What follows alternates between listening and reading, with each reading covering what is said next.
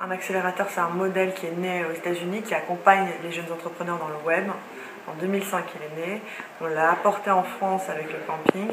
Et à la suite, à l'issue de trois saisons, euh, on parle de saison, six mois pour accompagner les entrepreneurs, euh, j'ai eu envie de monter The Family avec deux cofondateurs qui sont euh, Oussama Amari et Nicolas Collin et qui se présentent plus comme un accélérateur d'écosystème, dans le sens où on accélère des startups, et on pense que finalement, ces startups, on pourra euh, véritablement euh, euh, contribuer à leur essor si on embarque dans la dynamique de l'écosystème l'ensemble des acteurs qui comptent, à savoir adresser également les investisseurs, le gouvernement et les grands groupes.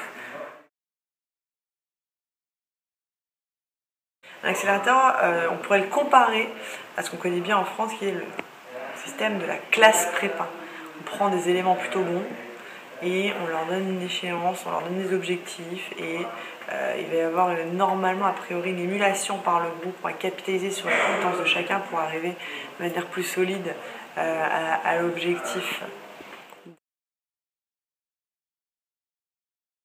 On a d'abord bien brainstormé euh, tous les trois cofondateurs, plus les premiers membres de l'équipe, sur finalement le fond de ce que devait faire apporter de Family et la manière d'y répondre. Euh, je pense que c'était suffisamment pertinent pour convaincre euh, les gens qu'on voulait embarquer avec nous, euh, qu'on appelle les Godfathers, qui sont les mentors, enfin les, parrains en fait. Comme Marc Ménassé, qui est le fondateur de Maninvest et coprésident de France Digital, et par exemple Burkhard Bonello, qui lui est un serial entrepreneur allemand du web, avec quatre exits derrière lui, et en même temps qui a monté lui-même un accélérateur à Berlin.